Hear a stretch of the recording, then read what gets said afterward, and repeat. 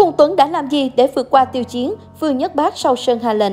Sau khi xem xong Sơn Hà Lệnh, khán giả mỗi người đều có những ý kiến riêng, bởi vì mỗi người có một tình yêu riêng của mình và mỗi người có ý tưởng khác nhau, vì vậy ý kiến của họ cũng khác nhau. Một số người thích xem Sơn Hà Lệnh là vì tài diễn xuất của hai nam chính trên mạng và cốt truyện rất ngọt, hình ảnh hai chàng đẹp trai lại bên nhau rất đẹp và thú vị. Một số người thích xem Sơn Hà Lệnh vì tuyến tình cảm giữa Chu Tử Thư và Ôn Khách Hành. Hai người quen nhau từ khi còn nhỏ, nhưng vì những thay đổi đột ngột trong nhà của Ôn Khách Hành nên họ cũng chia tay nhau do nhầm lẫn. Chu Tử Thư và Ôn Khách Hành đều là những người giàu tình cảm và chính trực, tuy có giết người không chớp mắt nhưng cũng không thể quyết định một số việc. Sơn Hà Lệnh khiến người ta phải khao khát, tiếc là cuối cùng đoàn phim phải chia tay khán giả. Khán giả vẫn không thể nói lời tạm biệt vì Sơn Hà Lệnh đã lập nên non sông và hồ trong lòng khán giả. Sông hồ này được cho là đã bén rễ trong lòng chúng ta, nảy mầm và không bao giờ biến mất nữa. Chỉ là Sơn Hà lệnh kết thúc mỹ mãn, Trường Triết Hạng và Cung Tuấn liên tục đưa ra thông báo. Điều này khiến Cung Tuấn suy sụp.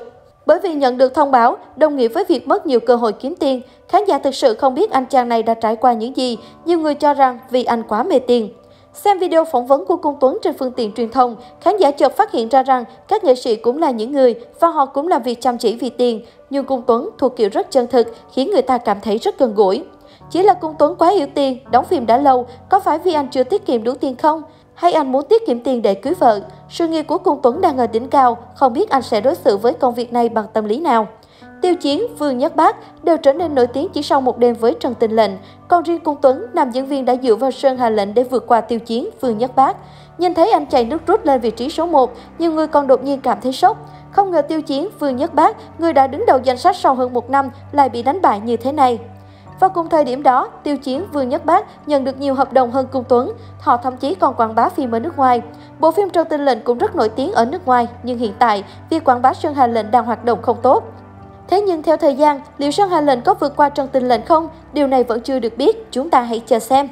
Vì Cung Tuấn có thể vượt qua tiêu chiến, Vương Nhất Bác để giành vị trí đầu bảng, rõ ràng là Trương Triết Hạng và Cung Tuấn cùng đóng vai chính, tại sao không phải là Trương Triết Hạng giành vị trí đầu tiên?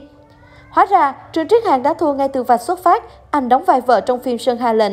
Tương đối mà nói, nhân vật ôn khách hành có giá trị lưu lượng cao hơn và là người khiêu khích nhất.